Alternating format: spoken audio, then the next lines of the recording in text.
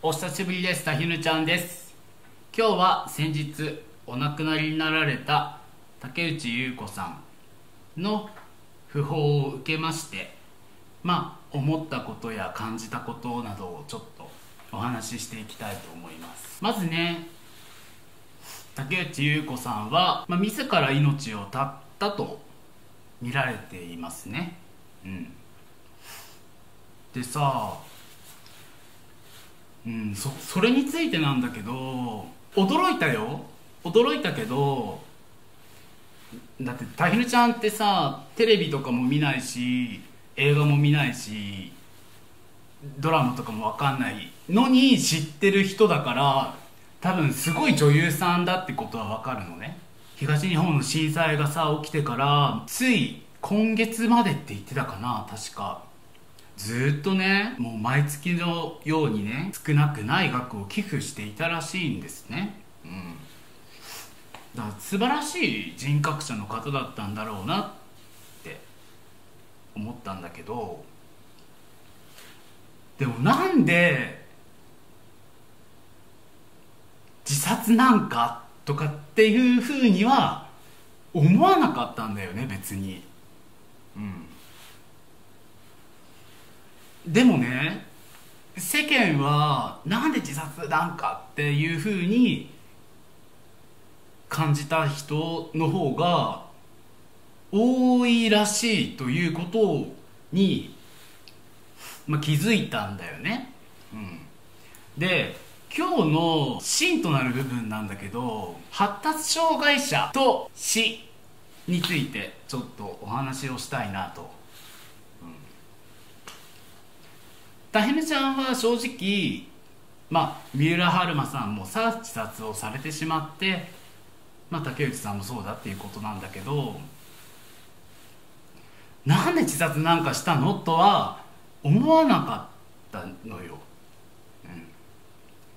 うん、でもその感覚っていうのがどうやら人と違うらしいっていうことにまあ気づいてね。なんでなのかなっていうのを考えてみたんだけどね、うん、まずねまあ我々発達障害者ってさ基本的には生きづらさを抱えているじゃない、うん、だからねそこはその共通としてあるなって思ったの、うん、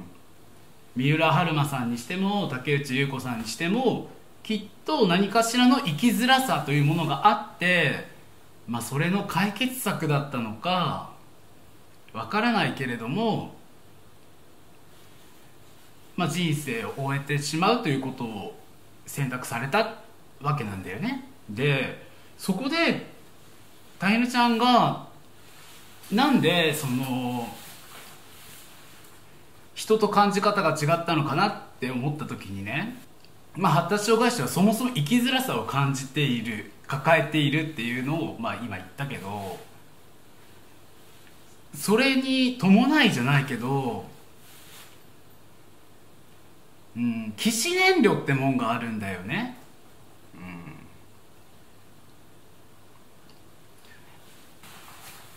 なんかね起死燃料っていうのはなんか別に死んでもいいやって感じ。なの。あまりその社会生活を送ることに対して意欲的ではないんだよね。本心としては、うん、生きづらいからやっぱ。辛い。基地燃料っていうのは発達障害者の我々にはかなり身近なものだと思うんだよ。やっぱたへぬちゃんのなんかのさ動画でもさコメントでねもうなんか自分がもう発達障害でもうすごく嫌だもう死にたいとかってやっぱ言う人もいるのでその気持ちって大げさじゃないし嘘じゃないと思うんだよ。はったりではないと思う。それぐらいやっぱりちょこちょこ辛い。ちょこちょこ辛いことが良くも悪くもなんだけどこれは。パッと見ではさうちら別にそんなおかしくないじゃん。そんなおかしくないって言い方も変だけどあんま困ってなさそうでしょ、うん、でなんかさたへみちゃんの動画見ると元気が出るとかってまあおっしゃってくれる方がいるんだけどまあたへみちゃんってさ普段ね層を抑える薬を飲んでるの。うん。つまりアッパーなわけ。もうアゲアゲなの常に。でアゲアゲって実はすごく危なくってまず我々発達障害者には衝動性が強いっていうさ特性があるじゃん。だからもう思い立った瞬間に行動に移しちゃってっていうことがあるんだよね。後先考えずでまあただでさえねそのそういう衝動性が強いもんだからっていうのもあってその層を抑える薬をたひるちゃんは処方されてるのよ。だから 普段ねめちゃくちゃテンション高いわけ、まあ、今はちょっとあの抑える薬飲んでるからね夜だから。なんだけどさやっぱねそれぐらいちょっとフルスロットルでいかないといろいろうん周りについていけないんだよね。っていうのがある。でうん。正直いつ死んでもいいってまあ思える生き方をしていると言ったらかっこいいけど死ぬのが悔しい悔しいから死にここで死にたくないって思えるような誇らしい人生を送ってきてないから、まあ、さらに送りたいっていう意欲もないから常にうん、生きることに対して消極的なんだよね。でね起死燃料が常にある。あ起死燃料っていうのは死んでもいいや別にっていう気持ち考えのことなんだけどある状態でねそれが常にある状態で我々発達障害者が何かすっごく嫌なことあった。でもう衝動性がもう止められなかったって時にそのまま自殺につながってしまうっていうことは十分あり得ることだからだからその三浦さんの時も竹内さんの時もなんで自殺しちゃったんだとは思わなかったっていうのはきっとそこなんじゃないかなっていうふうに気づいた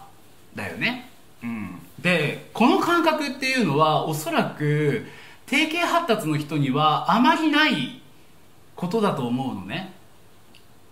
その我々発達障害者っていうのはそもそも二次症状としてね発達障害っていうものを抱えて社会生活を送る送らなくちゃいけないということによって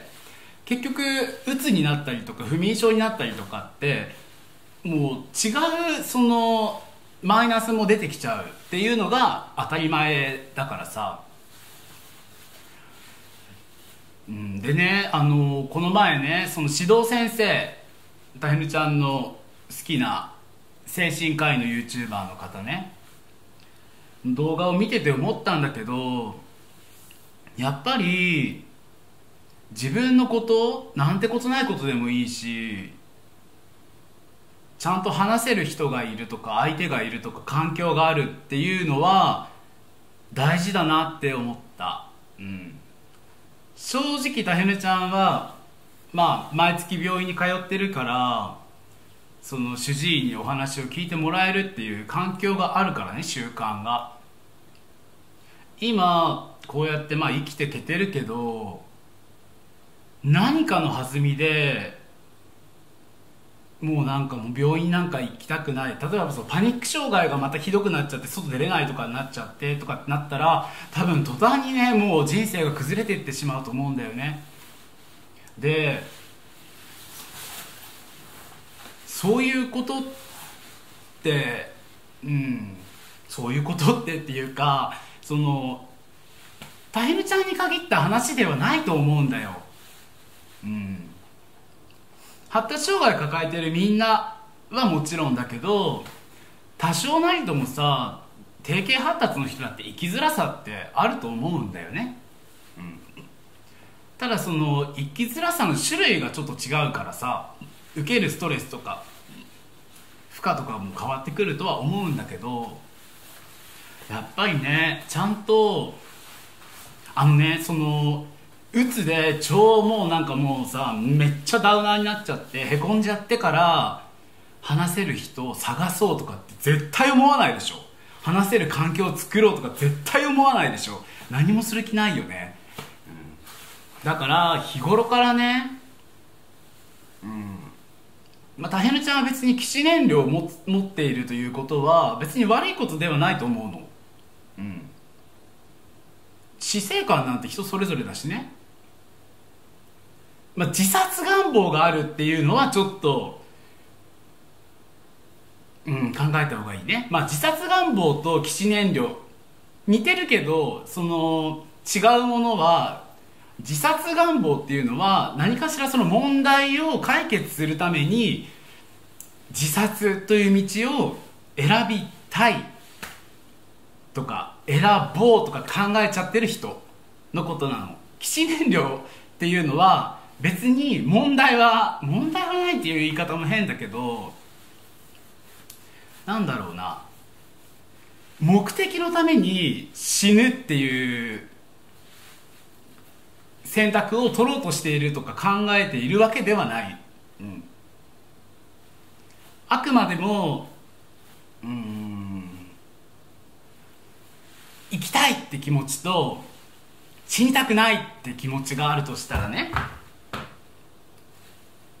死にたくないって気持ちがないって感じ。かな、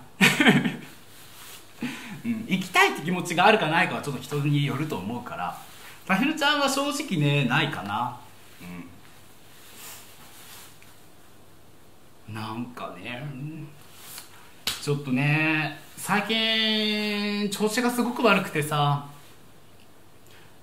うん。なんか他人のことも大切にできないし自分のことも大切にできないしもうなんか嫌だなって閉じこもってた。だけどあでね動画ちょっと出せてなかったじゃん。だけど動画撮ってたのよ。で動画撮ってたのに出せなかったのはなぜかというと、まあ、ツイッターでは言ったんだけどなんとね、録画したファイルがなんか壊れてて、編集ができなかったんです。はい、でもね、うん、やっぱその今回のその、まあ、お話をしたね、まあ、竹内さんのこともそうだけどやっぱ常にその自分の話を聞いてくれる環境づくりっていうのはと大切だと思うんだよね。特にこんなねたひるちゃんのこんな話なんてさはっきり言ってリアルでさこんなことを聞いてくれる人なんて誰もいないの。発達障害者のお友達も別にいないし。だけどまあせっかくね YouTube やってるって言っていいのか分からんけどまあやってる以上ね、まあ、こうやって話をすることによってまあ同じく発達障害の仲間とねいろいろシェアできることもあるんじゃないかなと思って。で今回はその注意喚起として、うん、発達障害者の我々っていつ死んでもおかしくないと思うの。マジで。うっかりミスで死んだりとか衝動性でねさっき言ったみたいに死のうとして死んじゃったりとかっていうことがあり得るからあと常にまあ基本的には薬に頼ってるしね。だから皆さんもねもしよろしければふと自分の全てを話せる環境があるか相手がいるかっていうのはちょっと考えた方がいいと思う。でそのね例えばね0から100までのことを1人の相手に話すっていうわけじゃなくて例えば0から10はこの人11から50はこの人とかあと種類によって分けても別にいいと思うんだよ。ただその素直に本心を100%言える環境とか相手っていうのは必要だと思うから別に友達を作れって言ってるわけじゃないんだよ。メンターを作れって言ってるわけでもない。あのカウンセリングに行ってください。はい。精神科言ってくれればねカウンセリング受けられますから。やっぱねたゆみちゃんもね何が辛いってその自分の抱えてる悩みとかさそういうものがね医学的知識がない人が発達障害に理解がある人じゃないとやっぱ理解してもらえないから話す気にならないわけ。そうなるとねどんどんどんどんやっぱこう扉を閉じていってしまうからさ皆さんもねもしそういう相手いないかもって思ったらはい。たひめちゃんの動画にもうね、コメントしてください。お願いします。うん。それだけでもだいぶ違うと思うというわけで今回は特に編集もせずこんなところです まあ普段からあんま編集してないけどね